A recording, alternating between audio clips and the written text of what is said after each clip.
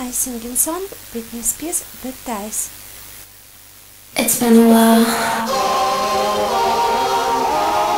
I'm kept you waiting.